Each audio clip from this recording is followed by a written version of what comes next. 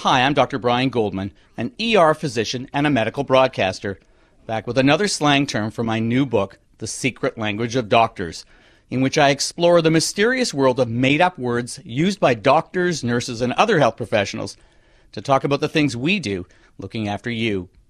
If you watch TV shows like Grey's Anatomy, you've no doubt heard the phrase code blue the almost universal term for a hospitalized patient whose heart has stopped. The instant a code blue is called, doctors and other health professionals on the code blue team drop everything they're doing and race to the patient's bedside, where they defibrillate the heart.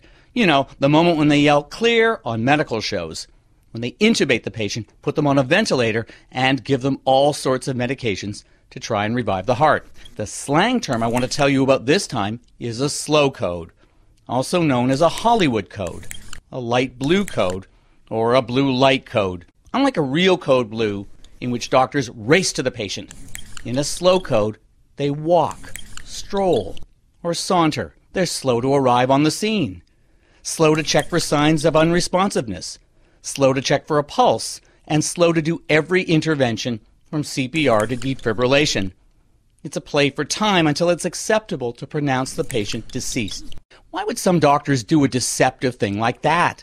For one thing, they believe it's largely futile to try and revive most patients who have a witnessed cardiac arrest in hospital. And they have a point. The only patients who are often saved by a code blue are those who suffer a witnessed cardiac arrest as the result of a heart attack caused by a blocked coronary artery. That's why they've put public access defibrillators in airports, casinos, hockey arenas, and other places. But hospitals are full of patients who have a cardiac arrest for other reasons.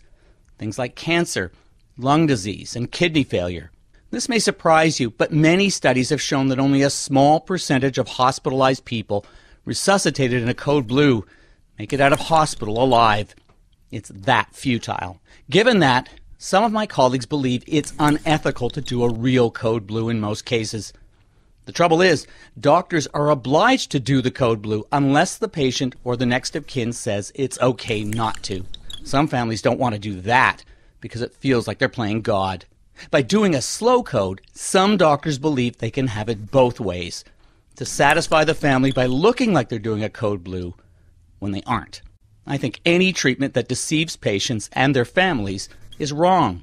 On the other hand, I agree that it's largely futile to offer a code blue when a natural death is the final outcome for all of us. I just think it's better if doctors say that to families up front instead of doing things behind their backs.